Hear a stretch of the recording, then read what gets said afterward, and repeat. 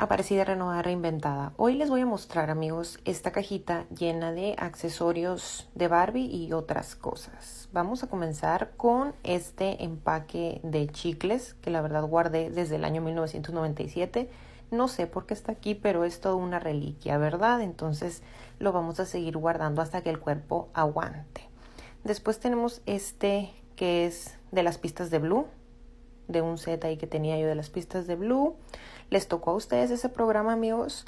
Aquí tengo estos elotes. Estos elotes venían con un cerdito de Barbie.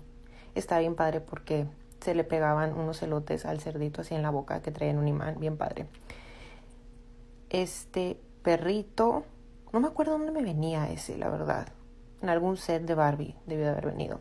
Esta venía en la casa que les mostré el otro día, creo, eso espero si mi memoria no me falla. Esta la compré con las demás muñecas baratas. Por ahí la debieron de haber visto en el video de muñecas baratas. Fue de las elegidas. Tenemos a Reptar. Es una pieza de un set de los Rugrats. Luego les mostraré mi colección de Rugrats.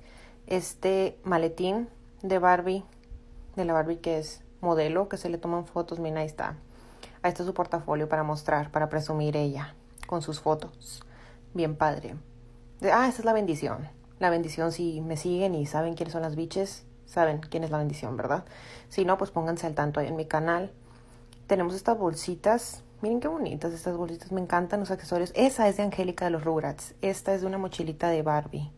Está bien padre. Parece de la familia Peluche. Esta Mimi, como le digo yo, esta Mini, es de Disney de los noventas. Por ahí. Vean la forma, simplemente. Este es un florerito de Barbie que yo le diría Pichel, la verdad. A quien no le diría Pichel.